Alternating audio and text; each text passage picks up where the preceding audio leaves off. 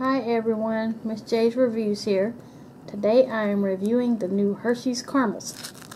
It's a, a new product. It's supposed to be milk chocolate with caramel inside. Now for some reason I was thinking that the package was going to be bigger than this and the little caramels were going to be bigger, but let's open this up and see what's inside.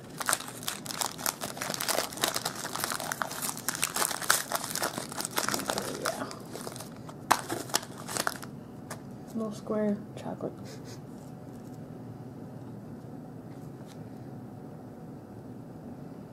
Hmm. Doesn't really smell like Hershey's, but anyway.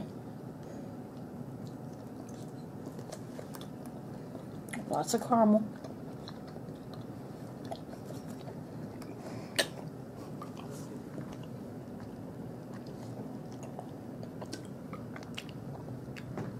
I'm definitely getting mostly caramel flavor. I'm not tasting a whole lot of the chocolate except when I took the first bite. But um, if you're a caramel lover, you're probably definitely going to like these. Oh, this nice and smooth and creamy.